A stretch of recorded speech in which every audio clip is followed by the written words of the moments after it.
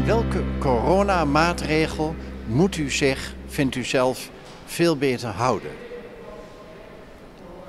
Ik hou me er ontzettend aan, dus ik zou niet weten wat ik eh, meer moet doen. Ik houd afstand, ik was mijn handen regelmatig, ontvang maar één persoon bezoek. Dus ik zou niet weten wat anders. Dus u houdt zich prima Ja, aan de regels. wel, ja. Ik denk dat de coronamaatregelen desproportioneel zijn met hoe erg de ziekte heerst onder het volk. Of het griepje. Tenminste, ik, ik ga vanuit dat het gewoon een griepje is. En niks anders dan normaal. Dus ik vind al die maatregelen vind ik, ehm, heel dubbelzijdig. Omdat enerzijds moet je bij heel veel plekken waar je aan de maatregelen moet houden. En dan vervolgens de twee meter verderop loopt, zie je een hele menigte bij elkaar zonder de maatregelen. Dus ik denk dat het eigenlijk eh, allemaal een beetje overbodig is en dat het eh, helemaal niet eh, zo nodig is als het wordt gezegd. Nou, ik vind dat ik mij best heb gehouden eigenlijk bij tweeën dus thuis. Ja, ik zou niet weten wat er beter moet. Nou zeggen alle mensen natuurlijk dat ze zich uitstekend houden aan de regels. Ja, Ik moet u maar geloven op uw blauwe ogen. dat zult u moeten. Ja. Ja, dat is een goede vraag. Maar ik denk eigenlijk merendeels dat, eh, dat als, je, als je aan de coronamaatregelen wil houden, dat je eh, in ieder geval wel eens moet zorgen dat eh, als je klachten hebt, dat je wel thuis blijft inderdaad. Want als je met verkoudheidklachten eh, naar de stad gaat of überhaupt naar het publiek heen gaat, dan, dan is best de kans best wel, ja, dan kan je iemand besmetten Ja. als je het hebt. Maar persoonlijk lukt, lukt het je goed om je aan de maatregelen te houden. Ehm, ja, meestal, ik, ik probeer het in ieder geval wel te doen. Wa- Wat gaat niet zo gemakkelijk? Anderhalf meter afstand sowieso, ja. Eh, Dat zou beter kunnen. Ja. Nou, ik dacht dat ik me er zelf heel goed aan hield. Maar ik heb nu al twee prikken gehad. Dus ik ben al eh, vrij van corona eigenlijk. Mooi. Het wordt bijna een gewoonte, hè? Al die maatregelen. Ja, klopt. Ja, ja, ja. Je bent er heel erg aan gewend. En het is denk ik weer heel erg wennen om weer terug te gaan eh, ja, naar het Ja. nieuwe. Ja, natuurlijk. Ja, maar die, hebben het, eh, die zijn nou, het is nog zo lang en die hebben het nu maar niet meer in het hoofd. Die eh, vinden nu alles zo normaal en die weten haast niet meer of ze eraan houden of niet. Precies. Het wordt, het wordt weer een gewoonte. Precies, ja. En We gaan nu wel terug naar normaal, maar in- inmiddels vinden we dit al een beetje normaal. Nou, dat is een hele goede vraag. Ik zou het niet weten. Volgens mij hou ik me overal wel netjes aan. Dat zeggen natuurlijk alle mensen. Ja, nee, ik denk het wel.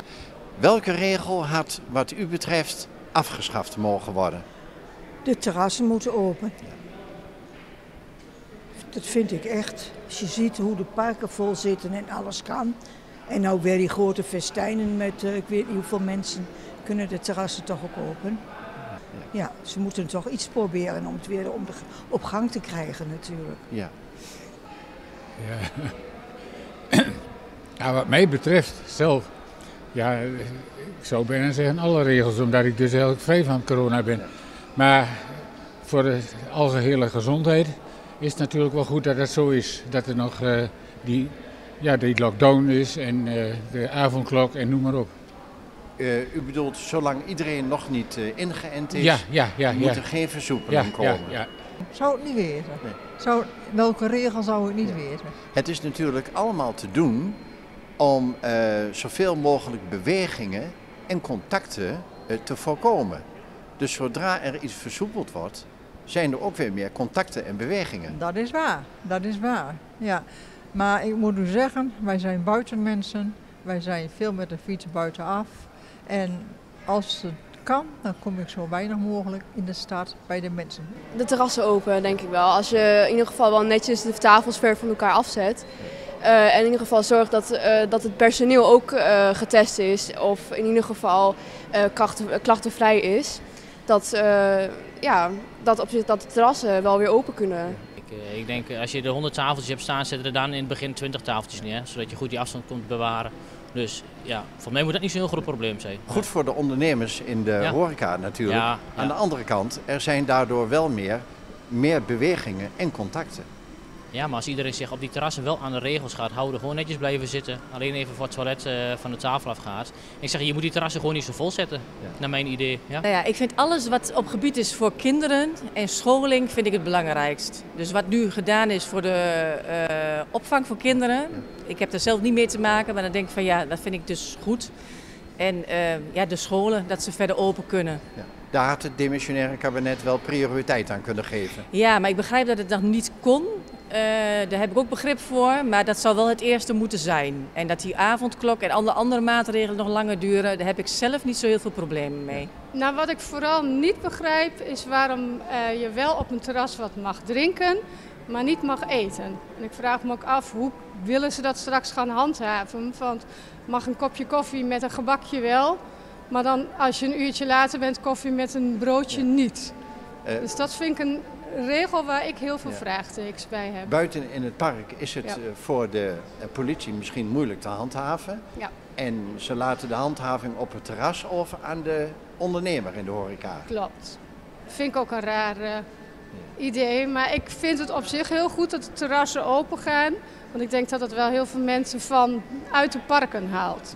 En ik denk de ondernemer, de café-eigenaar, de bar-eigenaar kan prima de tafels neerzetten. Wat veel meer veiligheid geeft dan dat iedereen zijn kleedje in het park uh, uitslaat. Ze kunnen voor mij wel een beetje die avondklok afschaffen. Want uh, ik zie echt niet aan nut van in. Want ja, weet je, je gaat toch gewoon uh, amper op bezoek. Met, omdat het toch al minder dat, bij elkaar op bezoek mogen. En het maakt toch niet uit of het middags of s avonds is. Dus als ik het goed beluister, vond u het effect van de avondklok niet zo groot? Ja, effect wil ik ook weer niet zeggen, maar ik zie daar weinig nut van in. Want ja, kijk, je kan, er ligt aan heel veel maatregelen, het aantal coronagevallen. En als je nou per se een avondklok wil bekijken, dan weet je dat ook niet echt. Ja. En welke maatregel mag er nu onmiddellijk vandaag worden ingevoerd? Uh, ingevoerd? Ja. Oh, ja, niet meer over, niet meer zoveel zeuren over corona. Dat zou ik zeggen, dat is een goede maatregel okay, is. dat is een goede tip. Ja. Als de terrassen open gaan, ja. dan zijn er natuurlijk wel weer meer bewegingen en contacten. Ja, maar ja, dat, ik denk dat dat heel goed te doen is om dat juist op afstand te houden. En ik, ik ben ervan overtuigd als mensen, als het mooi weer wordt straks, hebben we ook gezien natuurlijk met de laatste mooie periode, gaan mensen toch naar buiten. En dan gaan ze op de bankjes, op de terrassen, in de parken zitten, waar ze niet die afstand houden. En verwacht u het oude of het nieuwe normaal voor of na de zomervakantie? Ik ga ervoor nog voor de zomervakantie, omdat ik het heel graag wil. En dan worden we allemaal een beetje vrolijker. En dan worden we allemaal vrolijker. Je moet blijven hoop houden. ja. ja.